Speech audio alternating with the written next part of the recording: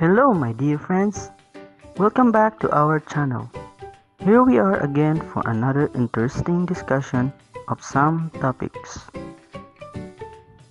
This is your teacher Fred, and today we are going to discuss about propagating trees and fruit trees.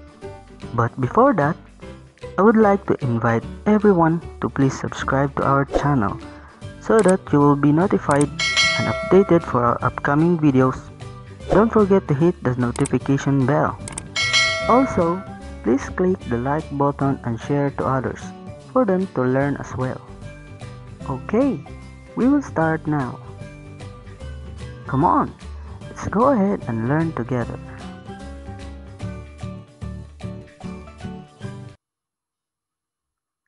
Planting and propagating trees and fruit-bearing trees is a source of livelihood for many Filipino families.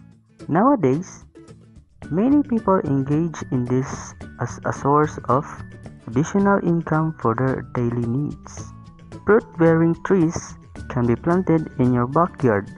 Depend on several factors, the space in your backyard, the kind of soil, and the type of climate in your own community. The pupils should be able to demonstrate understanding of scientific practices in planting and propagating trees and fruit-bearing trees. It is important, however, to first learn the benefits derived from planting and propagating trees and fruit-bearing trees to families and communities. This lesson will discuss these benefits. Let me tell you first what is the meaning of plant propagation. Plant propagation is the process of reproducing or creating a new plant or seedling.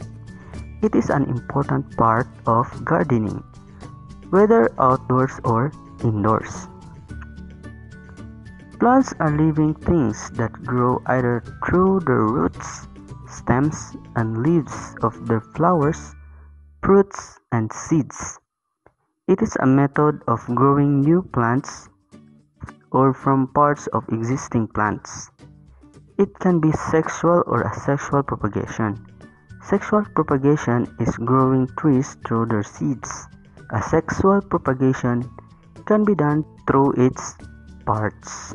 Okay, now let's talk about the benefits derived from planting trees and fruit bearing trees to families and communities.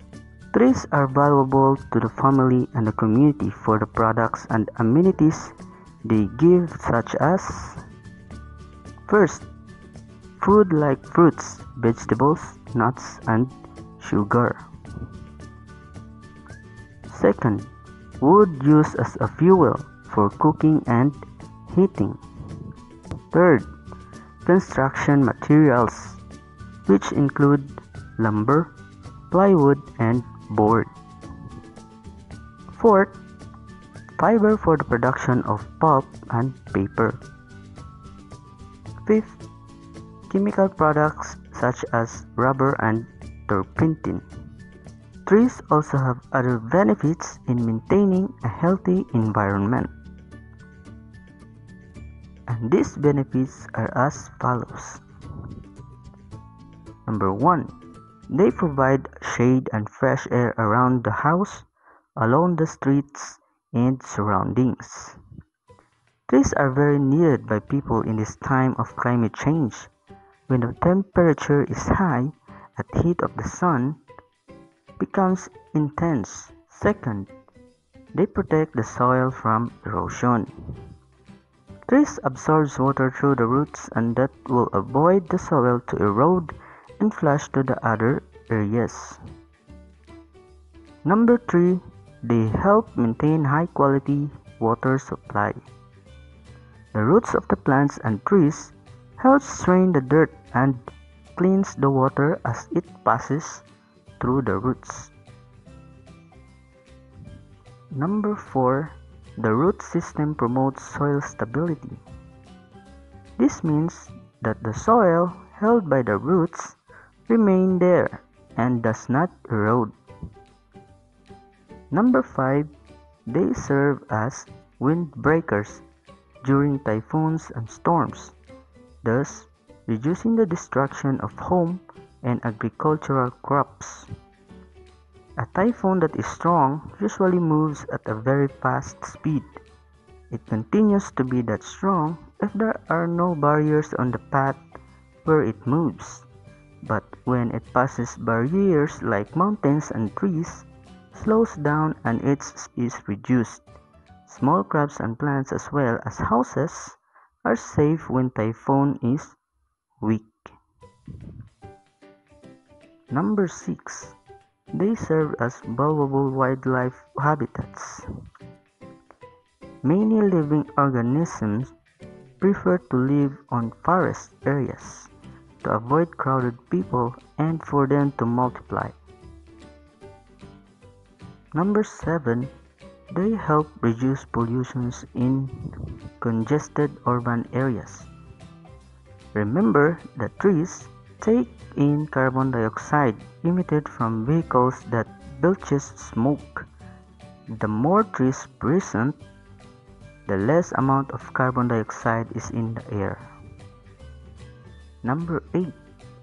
They improve the atmosphere of a place by giving a feeling of freshness and coolness as they reduce temperature.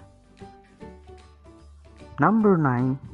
They prevent river and lake sedimentation. Have you observed a riverbank that is lined endlessly with full ground trees? These trees help hold the water in the lake and river and keep it there. This prevents the lake and river from drying up. They prevent floods. Floods occur when water from rain rushes in causing soil erosion. However, are trees to serve as barriers and the roots to hold the water, flood will not occur. And those are the benefits of propagating plant trees. Now, let us know some of the common trees planted in both rural and urban areas. Number one is Narra. Number two is Yakal. apitong, acacia, ipil-ipil, palm tree, rubber tree, bamboo tree, molave, and mahogany, and etc. Let's also have the examples of some fruit-bearing trees. We have duhat, mango, santol, coconut, orange, pomelo, atis, langka or jackfruit, chico, and banana. And there are so many fruit-bearing trees as well.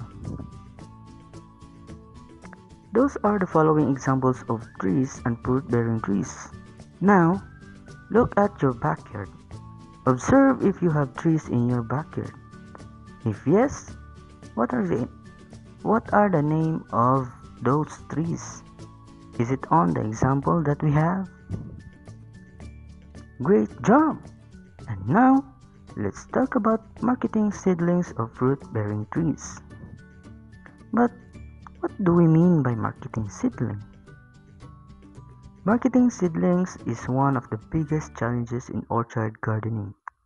One of its significant steps is to ensure that the product is ready to market, so it needs to come with specific standard for analyzing, ensuring quality control. And what are the characteristics of marketable seedling? Marketable seedlings must have strong, thick, and healthy stems. Each seedlings have five or more leaves and has established a healthy root system to defend themselves against other plants for sunrise, space to grow, and essential nutrients. And that is it, my dear friends. Always remember that planting trees are very important not only to our life but to our community. And now, It is your turn to let everyone know what you have learned. That's all for today's lesson, my dear friends. I hope you learned something. We appreciate your attentiveness in listening and watching to this video.